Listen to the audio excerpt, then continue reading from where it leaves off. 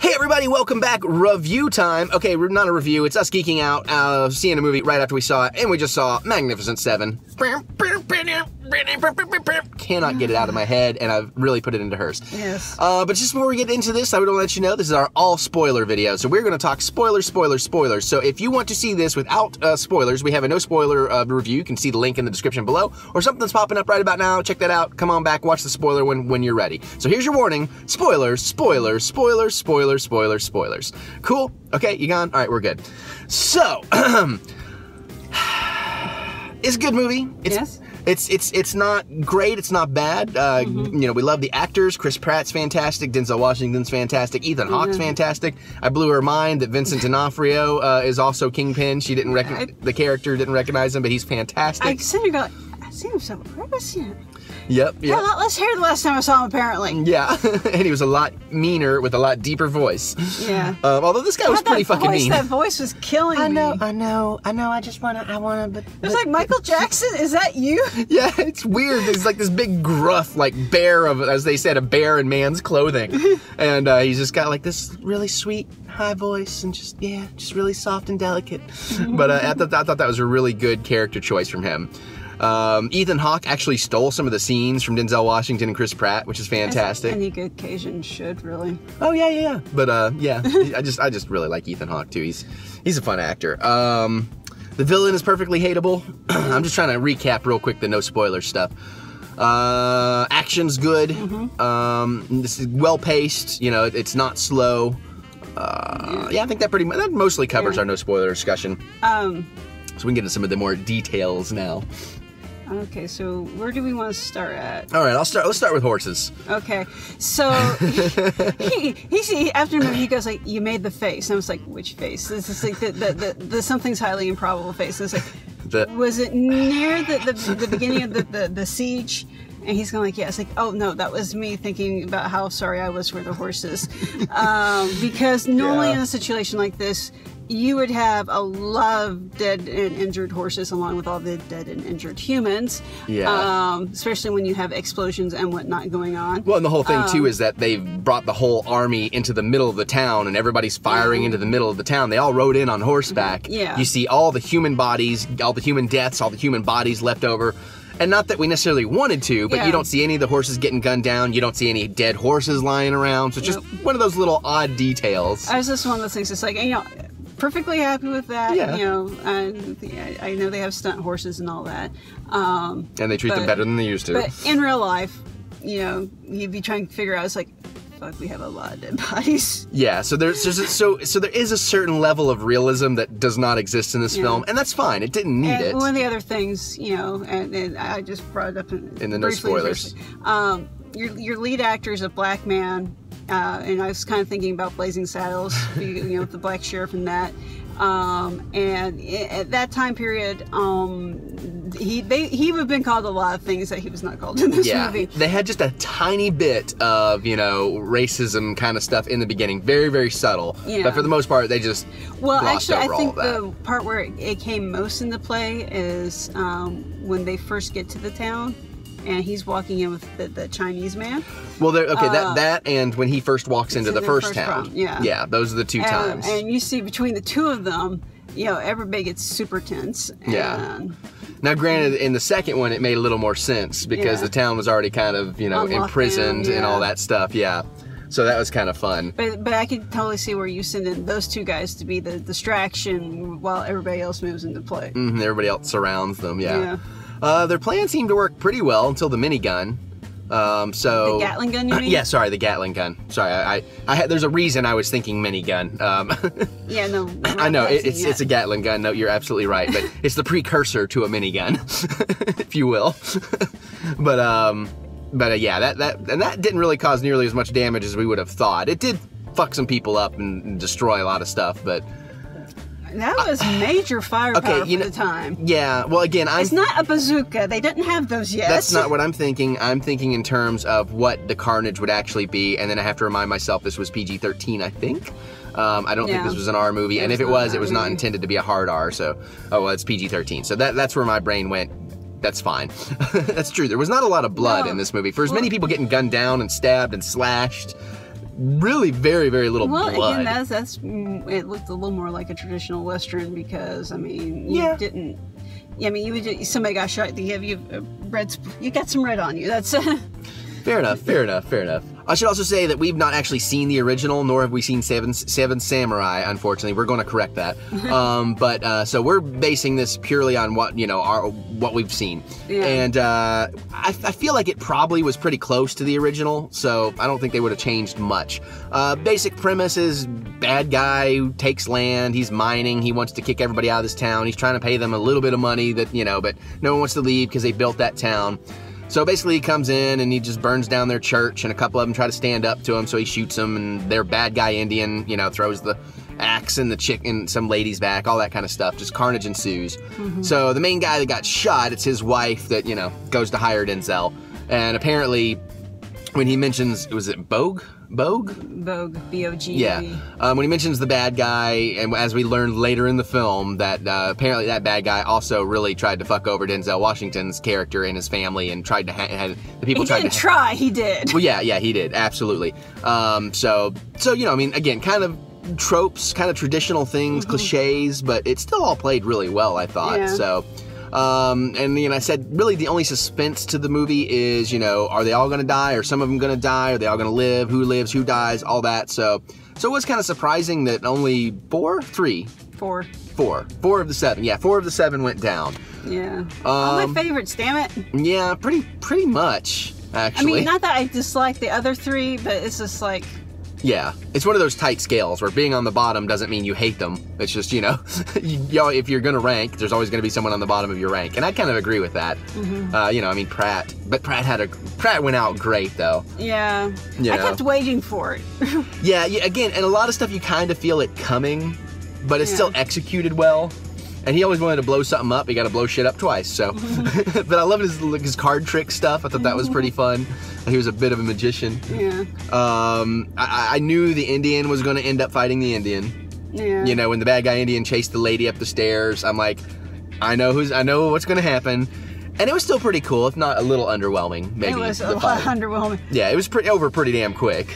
Well, the the guy just sucked at hand to hand combat. Yeah, he really did. So, uh, so that was a little Great with arrows, bad with knives. Yeah, and that's one of those things too. Like uh, Vincent D'Onofrio went out from the bad guy, and he got shot many, many times, which was pretty cool. I loved D'Onofrio's death, actually. Basically, he's just kind of like he gets gets this like a like he hears like a little voice in his head. It's like, oh, I can stop now. Okay. Yeah, it was kind of a, like a peaceful, because he was like a man of God kind of thing, and it was kind of a peaceful death in a way. It was like him making peace with it and like being called to heaven. You know, you kind of saw that performance in his, in just in his emoting. You know, so mm-hmm. I really liked that. But at the same time, I'm like, he had just thrown a guy into cover right behind him with all these rifles. Mm-hmm. I'm like, fucker, pick up the rifle and shoot the goddamn Indian. I think that was not his mo for dealing with Indians. Yeah, but still, still. I mean, I don't know. And maybe it wouldn't have worked, but it's just one of those things. Like, come on, damn it. Um, lots of town folks died. Uh, yeah. Um, who? Oh, wait, we didn't mention who else died. Oh, oh yeah, Ethan Hawke and Billy. They did get it, but you know they kind of went out. In a, gun took him out. yeah, they went out in a blaze of glory. Uh, not a blaze of gory. um, come on, all right. I, I'm, I'm punny, you know I'm punny. Uh, but so all that stuff was kind of neat. Uh, the plan worked out pretty well. I kind of feel like maybe it's that comedy works in threes idea, but I feel like only two battles felt a little awkward to me. I would have liked to have seen a little more escalation. Because really, Denzel Washington's crew rides into town, takes out the 22 guys, mm-hmm. and then we go to the big battle. I would have liked to have seen like maybe a battle in between those two, like so like the main bad guy was doesn't. actually sort of. It just wasn't much of a fight. It, when they took out all the guards at the mine. Yeah, it's not really a battle because it, it was like all sniping. Yeah, yeah. but you know, um, that was pretty cool. I liked a lot of their plan for boxing them in, building the trenches, all that stuff. That worked out pretty well. Although I don't know, they had all the school children. They had all the children hiding in a bunk, like a bunker. And uh, there was a moment in my brain that went through. It's like you know, just because I have a dark sense of humor sometimes about. Oh, it's convenient. This guy who runs the general store has this bunker. It's like, come on, children, into my bunker. It's just a weird. no, dude, it, it's I- a root cellar. I know it wasn't that. It's just it's just one of those weird things. My brain went in a weird place. But um, for some reason, somebody decided to leave a lit burning oil lamp hanging in the store. Store. So that was convenient when it got knocked over and started trying to burn the thing down. I'm like, why wouldn't you put that out? that didn't make sense. But again, just I'm nitpicking, you know. So also my other question too is in the heat of all that battle, I don't know how anybody recognized who they're supposed to shoot. You know, it's like she had said earlier that the townsfolk probably know each other best theoretically, but in all that dust and cra- chaos, I don't know. For the most part, I, I get actually I can see them going like, okay, we're technically supposed to be stationary for the most part, so Yeah, if it's okay. moving, it's probably a bad guy. There's some validity to that, yeah. But yeah, there probably would have been some friendly fire. Yeah, Just I because would. most of them are shit shots to begin with. Yeah. Oh, yeah. That was pretty funny too. Teaching them how all of them teaching them how to shoot and like them all missing. that's really impressive. They've all missed twice in a row. That's statistically impossible. right? Yeah. So all that stuff was really really funny. Um, I do. Like, I like the opening scene too of Denzel's. You know, we don't know he's a, a, a, a law. A, warrant Warrant warrant officer um, that initially, and he goes into the bar and shoots this guy. Chris Pratt's trying to like kind of got got his back, but all that stuff was kind of cool. He's like shooting the hats off of people and the chair leg out from the other guy so he doesn't shoot at him. um, that stuff was fun. of course, I always have wonder what happens afterwards. You know, the parts that you never see. Like, there's a lot of bodies to get rid of. Yeah, that was a lot of bodies. I'm sitting here going like, mm, maybe we could turn them into fertilizer. Uh, otherwise, we're gonna have to what we all burn become. them all because um, you're looking at cholera and all that fun disease stuff when you have a bunch of bodies at once. Mm, yeah, fun. Uh, fun, fun, fun. Yeah. Um, the uh, other thing is they killed a lot of people. it was just like uh, you kind of wonder. It's like I know it was the, the the Wild West, but I could totally see some legal ramifications, and they still end up getting screwed. Yeah, that's kind of true. I, I was kind of almost hoping like maybe that would be at the end, like the cavalry shows up because someone reported, "Hey, this shit's going on. Y'all need to get down here or something." They still, well, they still have the bad guy alive. That was one thing. The other thing is when they sent off their Comanche Indian, I kind of thought, well, maybe he was going to end up have he went to his people and they would show up at the end. No, you know, I don't no. Well, I mean, I don't know. I just, you know, it's just in the in the heat of watching the movie. You know, I don't st- sit there and take too long to think about it. so, you know, because I like to go on the ride. That's a race relations thing. Yeah, I know. I'm just saying. You never know. you know, if the Indians ran in, the townsfolk would be, oh fuck.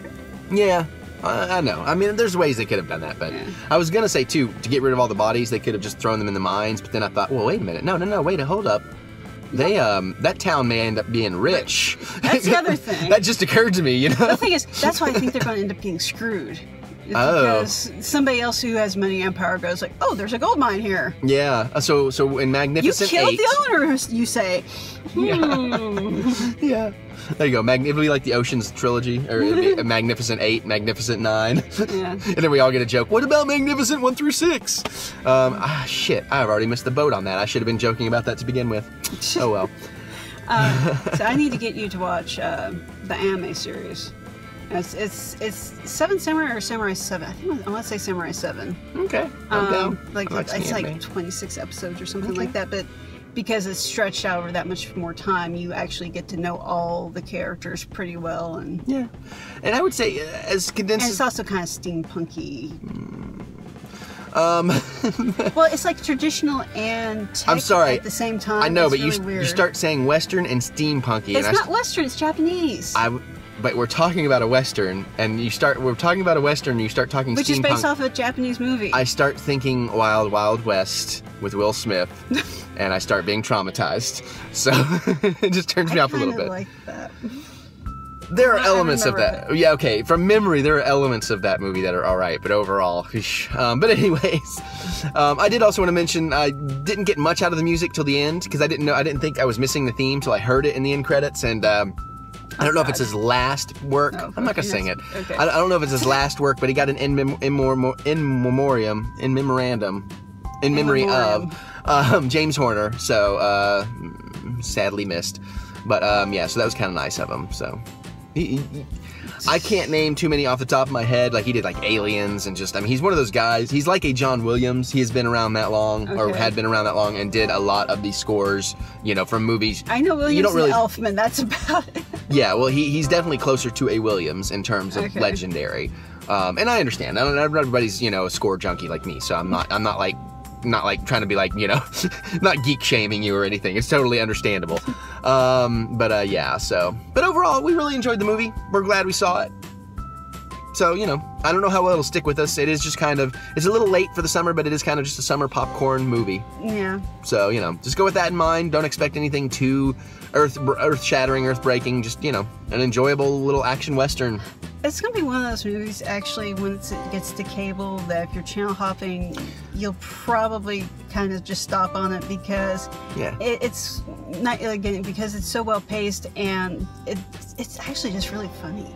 yeah yeah there is a lot of good humor in it too Because just watching these guys just constantly like snark at each other and try In to the heat one up battle. each other, it's, Yeah. it's it's great. Mm-hmm. Yeah, we enjoyed it quite a bit. All right, well, what did you guys think? Let us know. This is the spoiler video, so feel free to talk spoilers. Geek out with me down in the comments. Oh my god, let me know what you guys thought about the movie. Um, other than that, click that thumbs up button. Give me the thumbs up of encouragement. Check out Patreon if you want to. And we'll get out of here. We'll see you guys later.